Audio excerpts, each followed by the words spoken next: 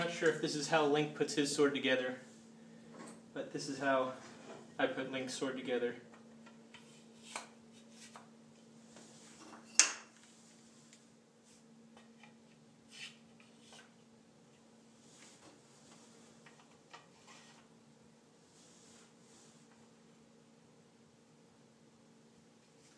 And there you go, the Master Sword.